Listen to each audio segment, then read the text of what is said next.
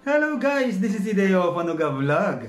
Ikaw ba ay baguhan din lamang sa YouTube at babago rin lamang sa paggagawa ng mga video na pang-upload sa YouTube channel mo? Halika, tuturuan kita kung paano pagandahin ang video mo. Pero bago yan, kung gusto mo yung idea ko, you can hit the subscribe button and the notification bell para sa mga susunod na videos ko, ma-notify ka.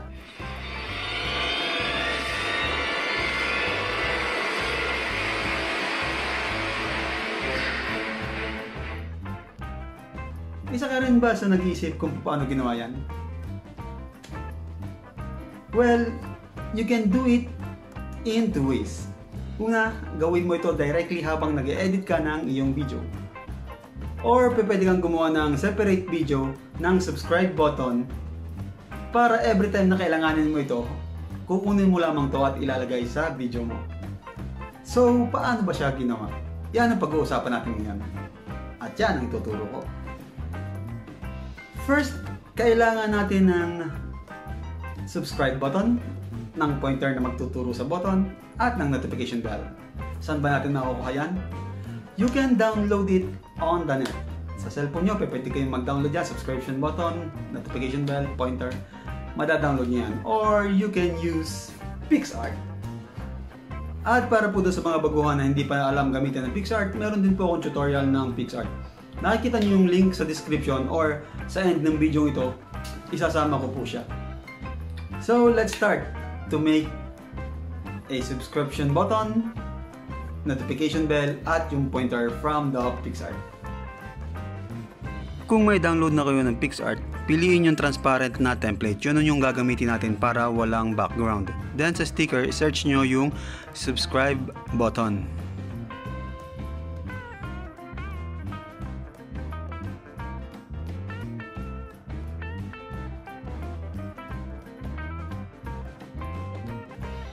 Then maglalabas si PixArt ng mga option na pwede nyong gamitin sa subscribe button ninyo. At once nakapili ka na ng subscribe button na gagamitin mo, i-adjust lamang ito sa size na gusto mo. At i-save.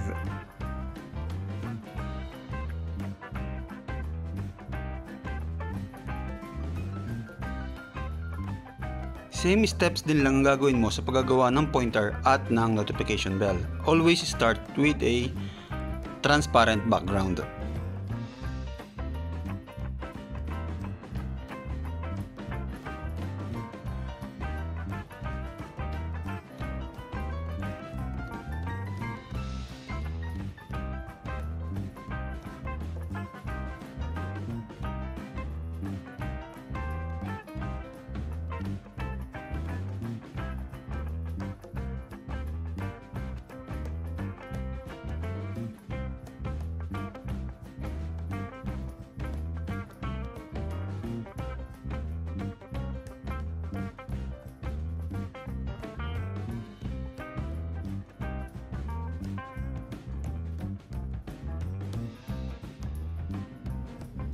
So uh, yan, meron na tayong maaaring gamitin sa paggawa ng ating uh, animated subscribe button. So ano ba ang susunod nating step na gagawin? Ang kailangan natin ngayong gamitin ay ang Kini Master or Kind Master.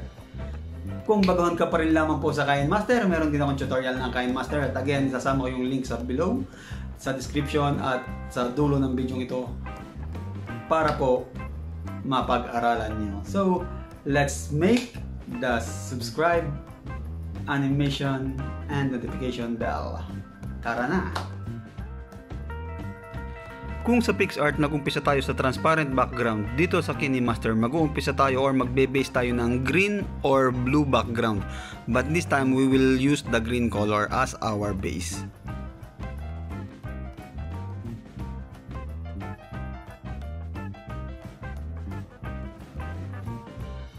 At kung ready na ang ating base, pwede na nating kunin yung dinownload natin or ginawa natin sa PicArt ng mga images para mailapat sa ating base at makagawa ng animated subscribe and notification bell button.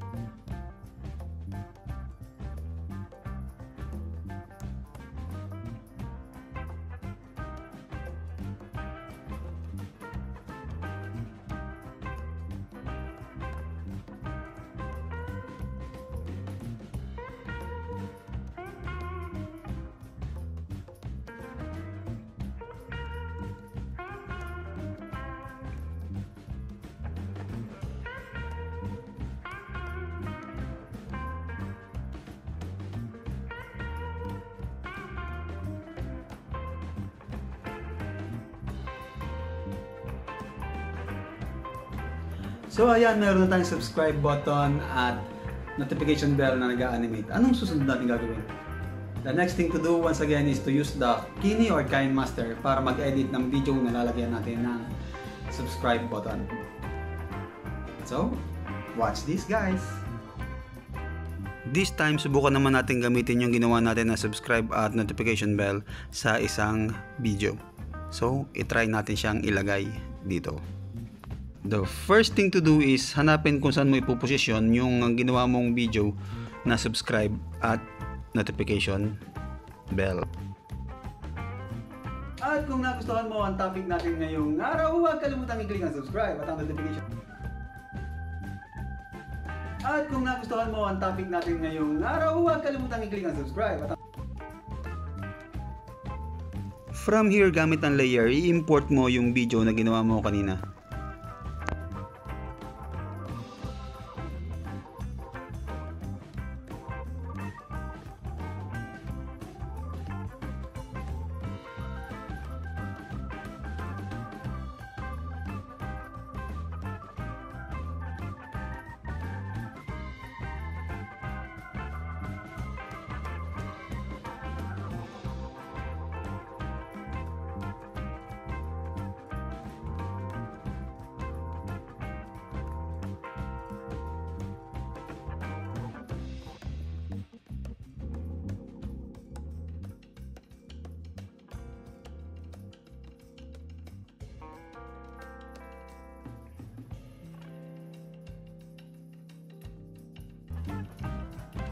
At kung nagustuhan mo ang topic natin ngayong araw, huwag kalimutan i-click ang subscribe at ang notification bell para sa mga susunod na videos, ma-notify ka. See you on my next video.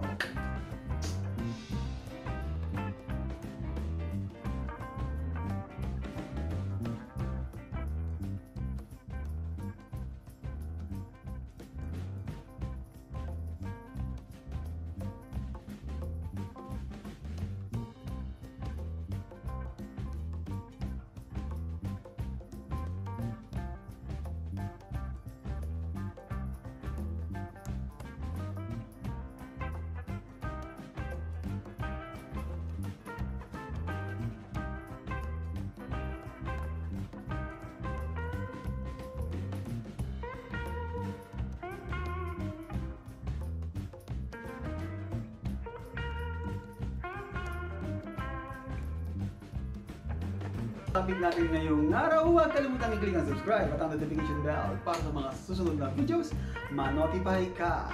See you on my next video.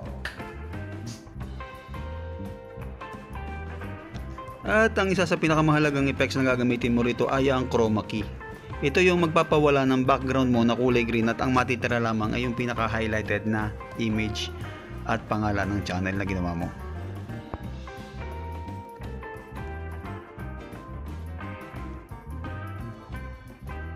Gustuhan mo ang topic natin ngayong araw, huwag kalimutan i-click ang subscribe at ang notification bell para sa mga susunod na videos, ma-notify ka. See you on my next video.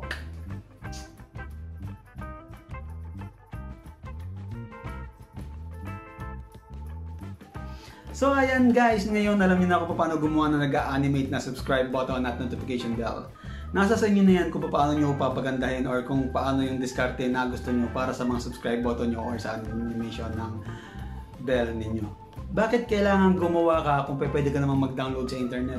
Again, guys, for me, it's more advisable na gumawa ka ng sarili mong animation or sarili mong video about subscription button para ma-practice yung skills mo sa paggagawa ng mga videos. Unlike, da-download mo lamang siya na umaasa ka lamang sa internet. So, much better pa rin na meron kang sariling trademark or yung sa internet kasi may marami nang gumagamit niyan. But then, kapag gumawa ka ng sa sarili mo, parang trademark mo na yun na, aba, kilala ko ang gumawa nito. And once again guys, kung nagustuhan nyo yung topic natin ngayong araw at marami pa kayong gustong matutunan, i-click nyo lang yung subscribe button at notification bell para lagi kayong nauuna sa mga videos na i-upload ko.